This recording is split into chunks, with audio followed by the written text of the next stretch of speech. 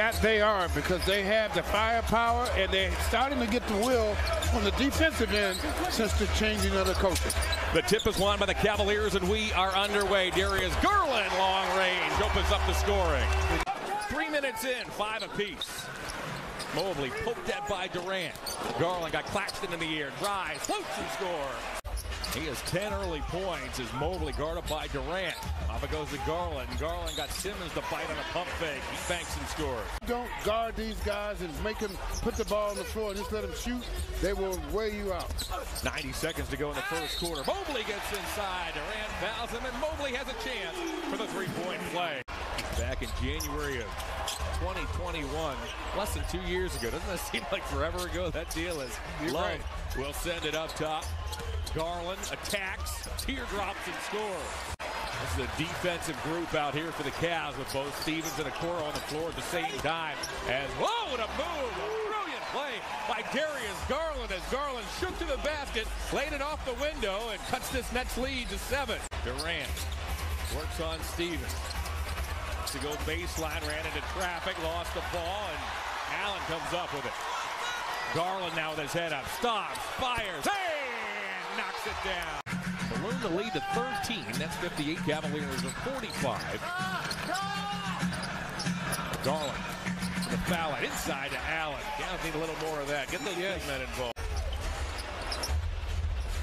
Stevens puts it up. That was blocked by Durant. Garland gets it back into Mobley. Takes his time and dunks with under a second remaining. Garland, top of the key, slings one inside to Mobley. Mobley takes his time, puts it up and in, draws a foul, and Mobley has a chance for the three-point play. Every one of the Brooklyn Nets are up on a Cavalier player. They're not letting them have any free space at all. Mobley inside, floats it up and floats it in. We talked about that in the open. Number of additional pieces this year, Right. more defensive-oriented players. When you look at O'Neale, Claxton's healthy as mentioned. Garland shifts to his right and hits the Whoa. three. My goodness. Oh, that's right. That's right. It's a 13-point game. Garland carts it inside, puts it up and in, and Garland has a chance for a three-point play. Garland. On Irving. Goes baseline, deals to Osman. Osman from a sharp angle. Pockets the corner three. The Cavs are back within 14. He is really starting to blossom here. AC this season from the corners, Watanabe is shooting threes at 70% as Levert has an answer. He has 21 points. Yeah, he's unbelievable this evening. He's a torrid 9 of 13. He's also got 7 rebounds. And Mobley clears himself inside and thunders it home. Bounces off and finds Claxton as he hit the deck. Claxton's floater doesn't go. Allen rebounds. Outlets to Osman. He'll push. Garland stops. Garland fires and Garland hits. Yep. Realizing what they need. Garland gets picked up on the switch by Claxton. Steps back. He Knocks it down. Whoa! Garland! Five and a half to go. Garland dancing in on Watanabe. Hangs, floats, got it.